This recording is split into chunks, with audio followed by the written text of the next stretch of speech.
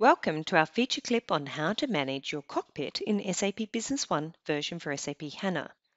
I am logged in as a sales employee and our IT department has assigned a standard sales employee cockpit template and this consists of a number of widgets. The first is a sales process workbench and this visualization of the sales cycle helps me to quickly navigate through my daily sales tasks. I then have a total sales amount, key performance indicator, and the top five best selling items dashboard, which provides an insight into the relevant data. And then I have the dashboard revenue versus gross profit for the last six months. And this is displayed in a different chart type.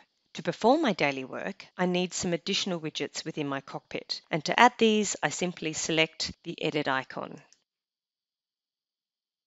By selecting the plus icon, it takes me into the widget gallery. And then I can select the following. I would like to add the top five customers by sales amount dashboard, which is this widget here. And I simply select the plus icon, which turns it into a tick. I then want to select the My Recent Updates widget. And rather than scrolling through all the widgets that are available, I'm going to search in the tile catalog, My Recent updates and I can easily select this widget.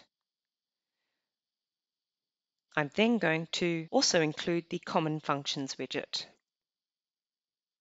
Once I've selected the widgets for my cockpit, I can navigate back to my cockpit page.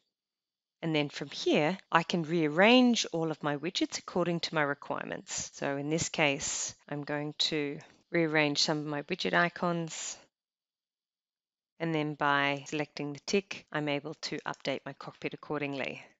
One of my regular functions is to manage opportunities. So in order to gain quick access to my opportunities menu item, I can add the opportunity menu item into my common functions widget. To do this, I simply navigate to the menu and under opportunities, I select the opportunity window and I drag it into my Common Functions widget. So now I can easily access the opportunity window directly. As I begin to work with the system, the transactions I'm working with will appear in the My Recent Updates widget, and then they can be accessed directly. So my cockpit in SAP Business One on HANA is an easily accessible environment to help me efficiently execute my daily tasks.